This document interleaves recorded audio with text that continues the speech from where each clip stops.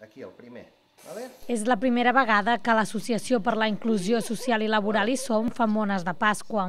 En total n'ha fet 150 i entre els seus clients hi ha la botiga virtual del Club de Futbol de l'Espanyol.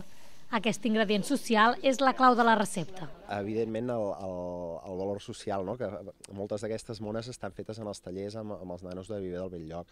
Però a part d'això, també el, la xocolata que fem servir és una xocolata de, de bastanta qualitat. Mones fetes amb molt d'amor, com aquest escut de xocolata del Barça que ha fet l'Ona i l'Ester. Bones, el Barça. M'agrada el Barça. M'agrada molt el Messi. De cara a l'any vinent tornaran a fer-ne. A més a més, en els propers mesos tindran un obrador destinat a fer productes amb xocolata durant tot l'any.